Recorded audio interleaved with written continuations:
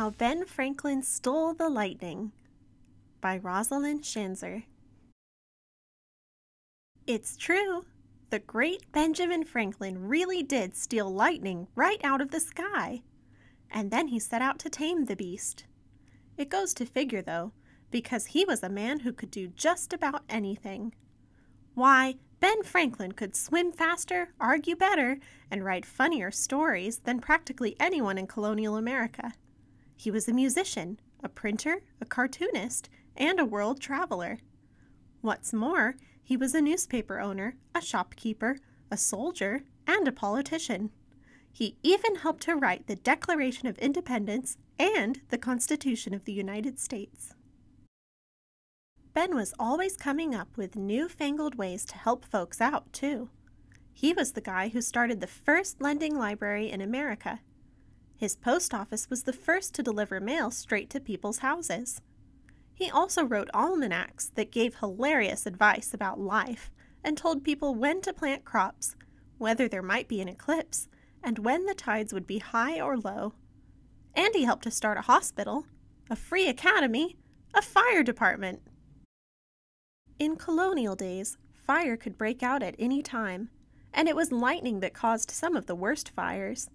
Many people believed that being struck by lightning was a punishment from God. Whenever thunderstorms were brewing, they would ring the church bells for all they were worth, but it didn't do anybody a lick of good. Of course, after Ben stole the lightning, there weren't nearly as many fires for firefighters to put out. Now, why was that, I hear you ask? And how did he steal any lightning in the first place? Well, it's a long story.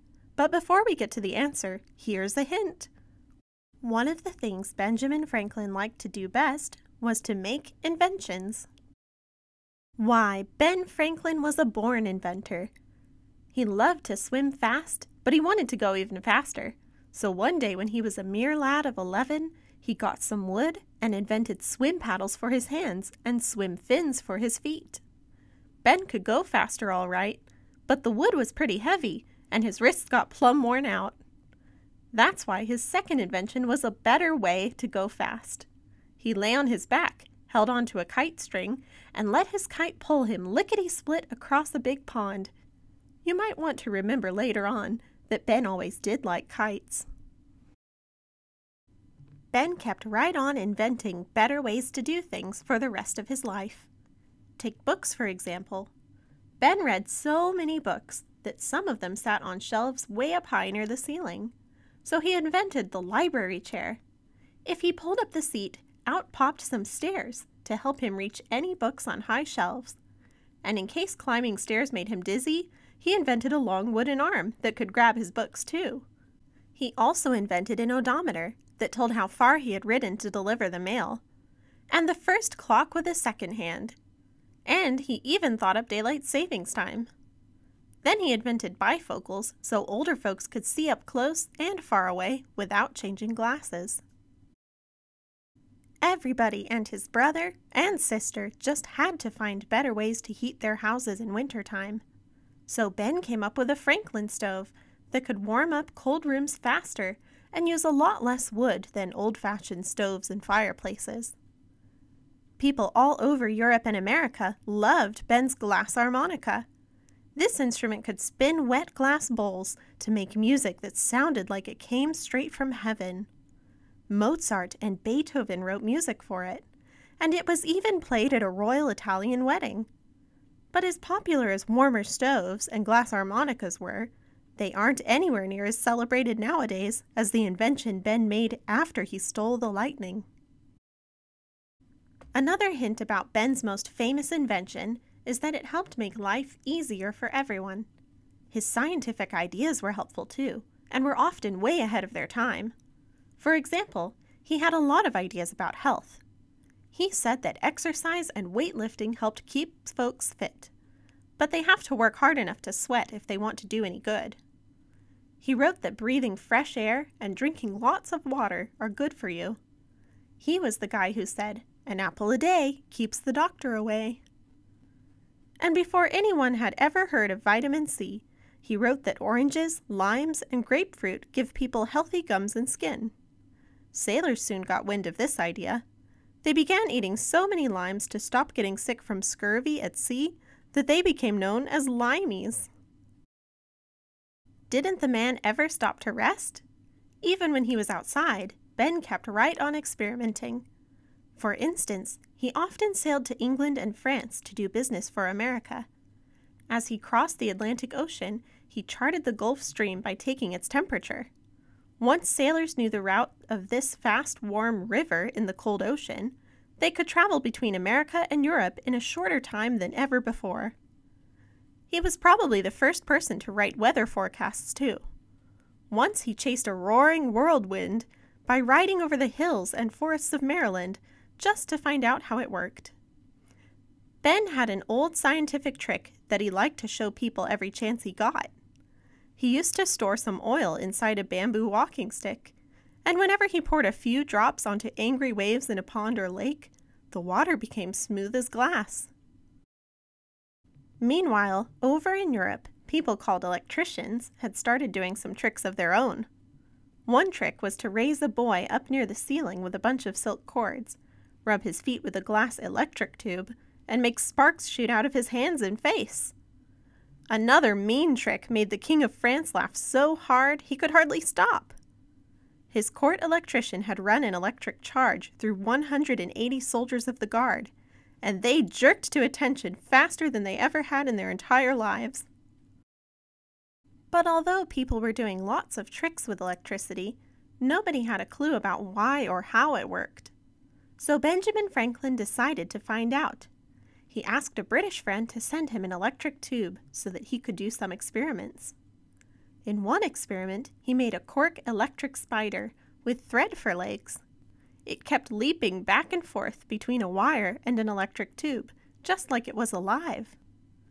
Another time, he asked a lady and a gentleman to stand on some wax. One held an electric tube, the other held a wire, and when they tried to kiss, they got shocked by all the sparks shooting between their lips. Ben even figured out how to light up a picture of a king in a golden frame. Anyone trying to remove the king's gold paper crown was in for a shock. Doing all these tricks gave Ben his idea for stealing lightning out of the sky. You see, Ben did not agree that being struck by lightning was a punishment for evil deeds. He believed that lightning was nothing more nor less than pure electricity. Now he set out to prove it. First, he made a silk kite with a wire on top to attract some lightning. Next, he added a kite string, tied a key to the bottom, and knotted a silk ribbon below the key. Ben and his son William stood out of the rain inside the doorway of a shed on the side of a field. To keep from getting shocked, Ben held onto the dry silk ribbon. Then he flew his kite straight up toward the big rain cloud. For the longest time, nothing happened. Just as Ben and William were about to give up, the hair on that wet kite string began to rise up and stand at attention Ben put his knuckle near the key, and yikes! Out jumped a bright spark of genuine electricity. Real lightning had traveled all the way down that kite string. Ben had stolen electric fire out of the heavens and proven that he was right. Of course, now we know that if the storm had been any stronger, the great inventor would have been toast. Finally, Here's the part of the story where Ben's practice from thinking up all those inventions came in so handy. Way back then, you remember, lightning was always setting fire to ships, houses, and church spires. Even the best fire departments couldn't keep entire towns from going up in smoke. So Ben decided to make his most famous invention of all the lightning rod. The whole idea was to pull lightning safely out of the sky before it could do any mischief. Ben showed people how to put a pointed iron rod on the tip top of a roof or ship's mast and connect it to a wire leading all the way down under the ground or into water. Now the lightning could follow a safe path without burning up a thing. This simple but brilliant invention worked beautifully. It saved more lives than anyone can count and made Ben Franklin a great hero. Scientists from around the world lined up to give Ben medals and awards. But during his long life, he became much more than the master of lightning. Why, when America fought against Great Britain for the right to become a free nation, Ben convinced France to come help win the war. And when it was over, he helped convince Great Britain to sign the peace. He had helped in so many ways that the people of France honored him with a beautiful medallion. It says, He snatched the lightning from heaven and the scepter from tyrants. And he did. You've probably heard of the great inventor Benjamin Franklin and his famous and sometimes mischievous experiments. His most famous and dangerous experiment was flying a kite during a thunderstorm to capture lightning out of the sky. That is one experiment you should not try at home. But he put that knowledge to good use, creating an invention that made everyone's lives better the lightning rod. To understand more about the lightning rod, let's build a simple electrometer. To start off, we'll need two pieces of thin metallic foil cut to exactly the same size and hole punched at the top. Mylar works especially well for this project. Mylar can be found in foil balloons, tinsel, or what I'm using, confetti. Mylar is used for these products because it's lightweight and very reflective, but it also conducts electricity. Your mylar strips will need to be smooth without wrinkles and trimmed to exactly the same size for this to work. Next you'll need a paper clip. Bend about half of the tall loop of the paper clip down to create a T shape. Next, take your hole punched mylar strips and slide them onto the loop. Make sure that they can hang and move freely. Push the top of the paper clip through the lid of a plastic to-go cup. The lid should hold the paper clip in place, while the mylar strips hang down freely. If one strip hangs down lower than the other, give it one final trim to make sure they are perfectly even. When it's ready, insert the whole thing into a plastic to-go cup and close the lid. Now you've made your own electrometer. An electrometer is a device for measuring electricity. So to use it, we'll need to charge up some static electricity. Rub a balloon against your hair, clothing, or a stuffed animal. If you've ever done this experiment before, you'll know what's about to happen. My hair is going to get very staticky and frizzy and stick to the balloon the things we do for science. So what's happening that causes this effect? Remember, all matter is made up of tiny particles called atoms. Atoms have a middle part called a nucleus that has a positive charge, and the atom is orbited by electrons that contain a negative charge. The positive and negative charges attract each other and so the electrons orbit round and round the atoms. But sometimes they can break away. When I rub the balloon against my hair, the friction causes some of the electrons in my hair to break away and become attached to the balloon. So the balloon itself now has a negative charge. And my hair has lost so many electrons that it has a positive charge positive and negative charges attract, and so my hair wants to stick to the balloon. When the balloon is charged up with negative electrons, with nowhere for them to go, this is called static or non-moving electricity. But electrons don't like to stay static. They want somewhere to go. That's where our electrometer comes in. The mylar strips and the paperclip are both good conductors of electricity, so, when the balloon gets close enough, the electrons jump onto the paperclip and onto the mylar strips. The electrons spread out across the mylar strips. There's nowhere else for them to go. Now the mylar strips themselves are negatively charged because they are full of negatively charged electrons. When they have received enough negative electrons, they will spread apart from each other because negative charges repel other negative charges.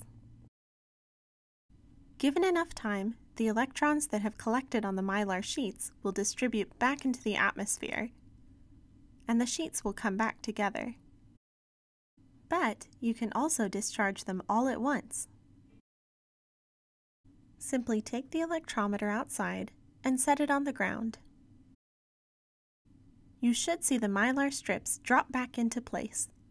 This is called grounding.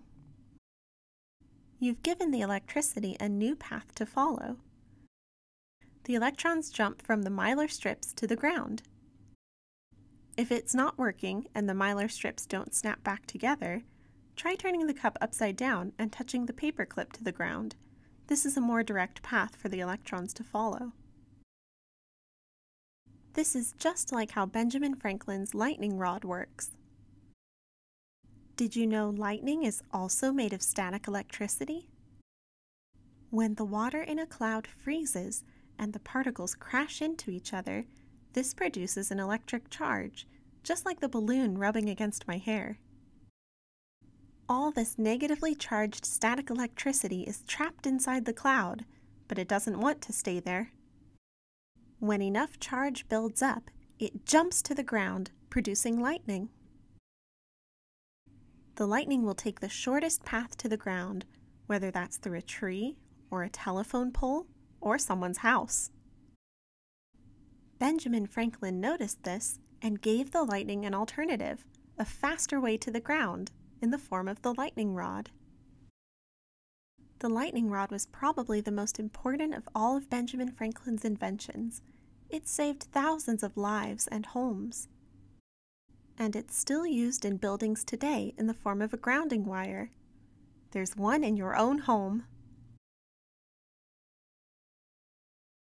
For more information about receiving STEAM kits, visit the Kids and Families page at coosbaylibrary.org.